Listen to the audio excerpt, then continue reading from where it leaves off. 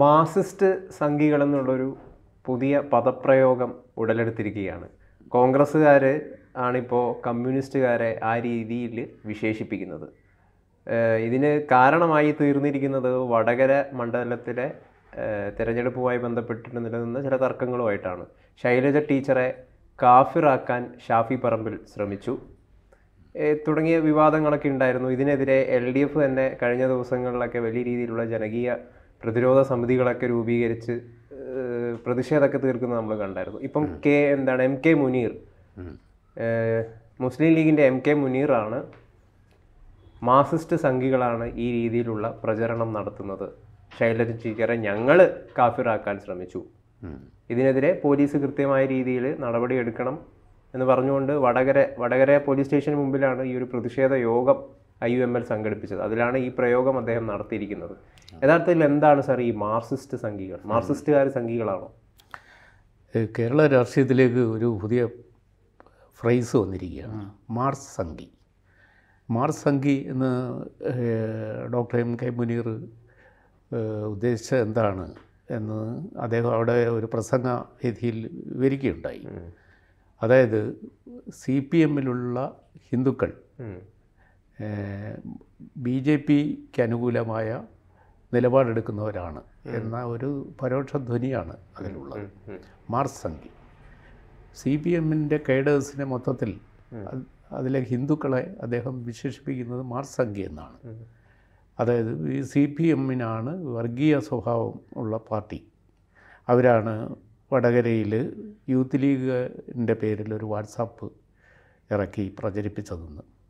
അതിന്റെ പിന്നിൽ C P എംകാർ തന്നെയാണ് അത് അന്വേഷിച്ച് പുറത്തു കൊണ്ടുവരണമെന്നാണ്. വടകരയിൽ റൂറൽ എസ് പിയുടെ ഓഫീസിന് മുമ്പിൽ കഴിഞ്ഞ ദിവസം യു ഡി എഫ് നടത്തിയ ഒരു വലിയ സത്യാഗ്രഹ സമ്മേളനത്തെ അഡ്രസ്സ് ചെയ്തുകൊണ്ട് മുസ്ലിം ലീഗ് നേതാവ് പറഞ്ഞത്. ഇത് പോലീസുകാർ ഇത്ര ദിവസമായിട്ടും അതിനെക്കുറിച്ച് കേസെടുത്തിട്ടില്ല.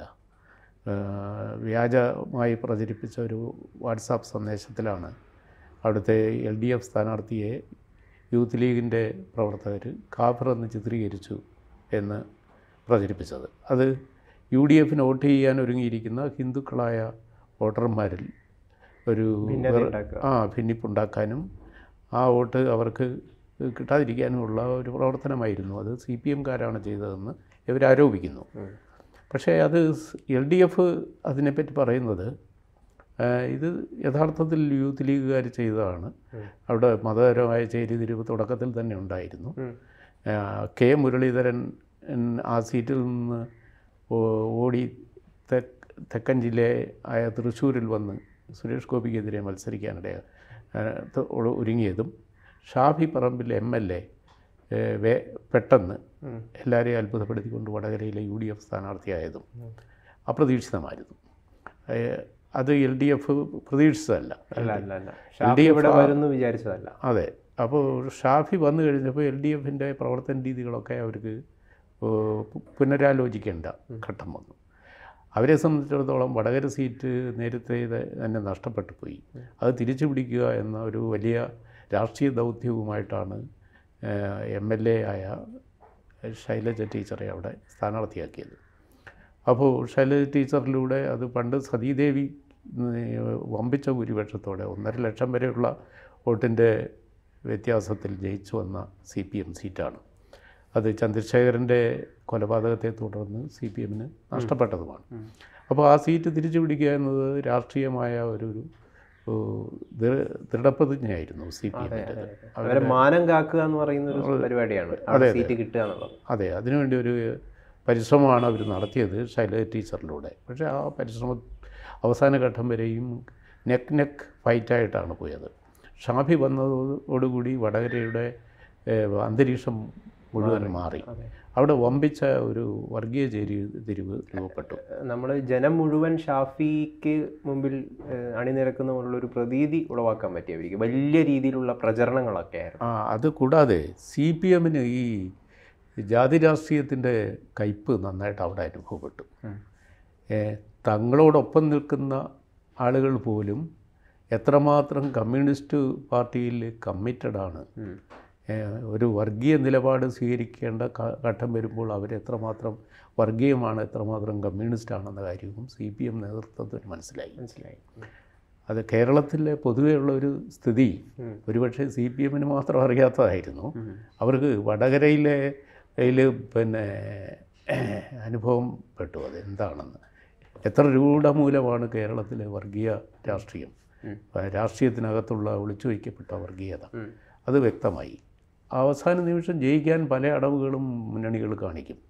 അതിലൊരു അടവായിരുന്നു കാഫിർ അടവ്. കാഫിർ കാഫിർ പ്രയോഗം. അത് വാട്സാപ്പിലൂടെ പ്രചരിപ്പിച്ചു ഷാഫിക്ക് വോട്ട് ചെയ്യുന്ന ഏതെങ്കിലും ഹിന്ദുക്കളുടെ വോട്ട് കുറയ്ക്കാൻ അത് ഉപകരിക്കുന്നെങ്കിൽ ആകട്ടെ എന്ന് വിചാരിച്ചായിരിക്കും. അവിടെ ഒരു ചെരിതിരിവുണ്ടാക്കാനുള്ള ഒരു ശ്രമം നടന്നു. അപ്പോൾ അത് ചെയ്തത് യു ഡി എഫ് ആണോ എൽ ഡി എഫ് ആണോ എന്നുള്ള തർക്കം നടക്കുകയാണ്. യു ഡി എഫ് പറയുന്നു ഇത് എന്റെ കുറ്റവാളിയെ കണ്ടുപിടിക്കണം. പോലീസ് ഇതുവരെ ഒരു കേസെടുത്തിട്ടില്ല.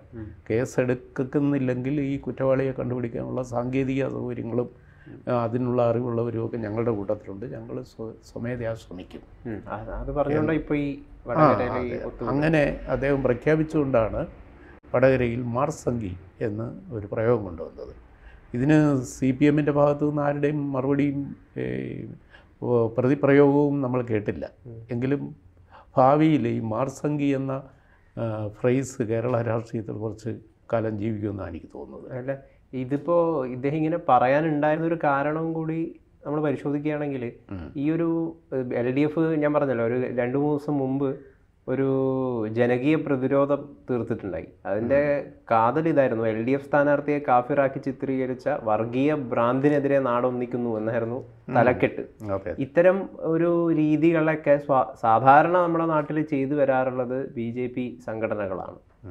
അപ്പം അതേ ഒരു രീതി എൽ ഡി എഫ് തന്നെ സ്വീകരിക്കുന്നതായിട്ടുള്ളൊരു തോന്നൽ ഉണ്ടാക്കിയിട്ടുണ്ട്. കാരണം കാഫിറൊക്കെ അടുത്ത കാലത്തൊന്നും ഇത്തരം ഒരു രീതിയൊന്നും എൽ ഡി എഫ് മുമ്പോട്ട് കൊണ്ടുവന്നിട്ടില്ല. പക്ഷെ ഇപ്പോൾ ഇത് കാഫിറാക്കിയതിന്റെയൊക്കെ എടു എടുക്കുമ്പോൾ.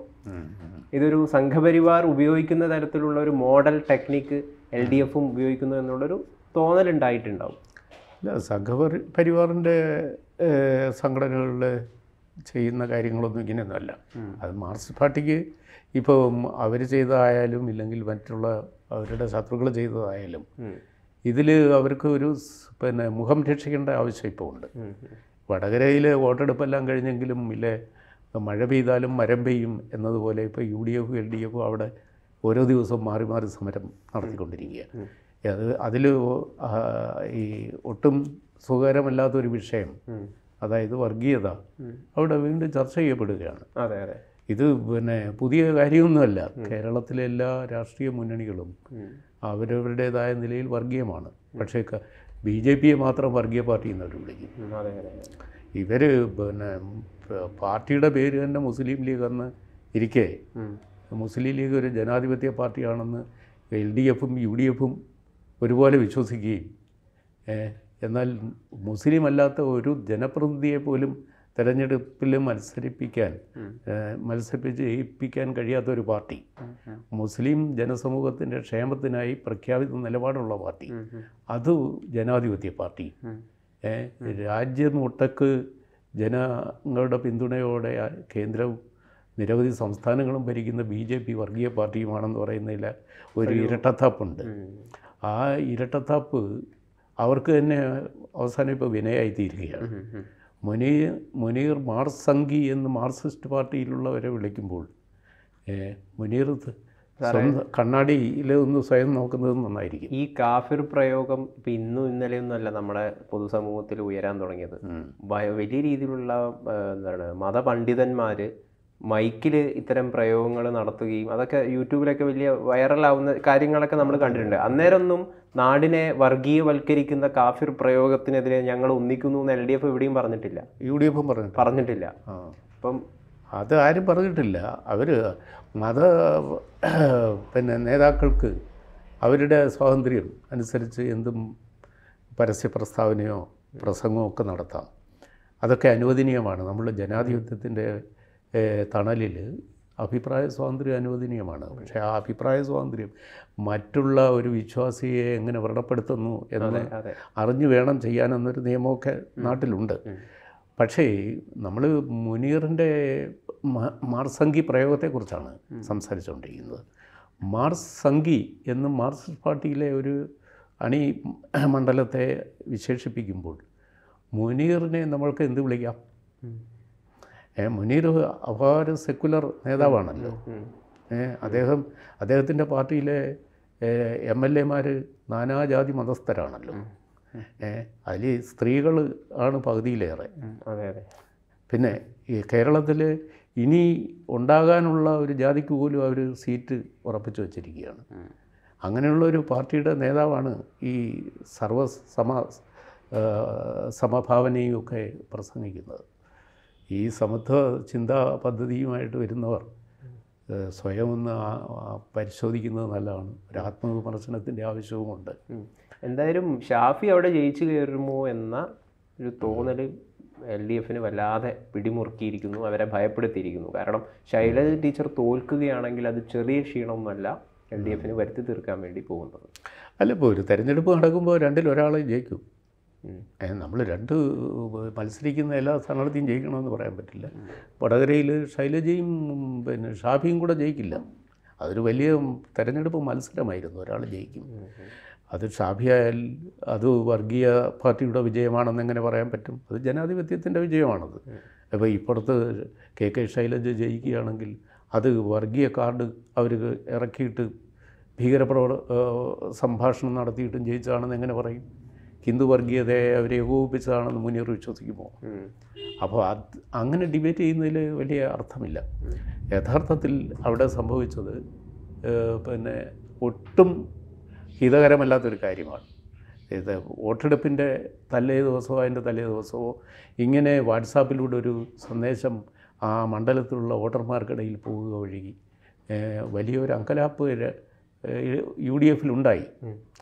അപ്പോൾ യു ഡി എഫിന്റെ ആൾക്കാർ തന്നെയാണ് അങ്ങനെ ചെയ്തതെന്നുള്ള ഒരു ഇമ്പ്രഷനിലല്ലേ എൽ ഡി എഫ് നിൽക്കുന്നത്. അതിന്റെ കുറ്റവാളികളെ കണ്ടെത്തണം. അവരങ്ങനെ ചെയ്തിട്ടില്ല. അത് ചെരി വർഗീയ ചേരിതിരിവുണ്ടാക്കുകയായിരുന്നു. ഏതായാലും ഇത് തെരഞ്ഞെടുപ്പ് കേസ് വരും. ആര് ജയിച്ചാലും. ഈ കാഫിർ പ്രയോഗം കോടതി കയറാൻ പോവുകയാണ്. അത് ഉറപ്പാണ്. ഇത് യു ഡി എഫ് ജയിച്ചാലും എൽ ഡി എഫ് ജയിച്ചാലും ഈ കാർ കാഫിർ കോടതി കയറും. ഉറപ്പായിട്ടും. ഇതാണ് വടകര നമുക്ക് കാത്തിരുന്ന് കാണാം. ആര് ജയിച്ചാലും അതൊരു പിന്നെ തിരഞ്ഞെടുപ്പ് കേസായിട്ട് വരാൻ സാധ്യതയുണ്ട്. എന്തായാലും കാഫിറിനെ ഉപയോഗിച്ചുകൊണ്ട് വിളവെടുപ്പിന് ശ്രമിച്ചത് ആരാണെന്ന് നമുക്ക് മനസ്സിലാവും. മനസ്സിലാവും. കൂടുതൽ വാർത്തകളും വിശേഷങ്ങളും നിങ്ങളിലേക്ക് എത്താൻ A B C Malayalam subscribe ചെയ്യുക. ബെൽബട്ടനും അമർത്തുക.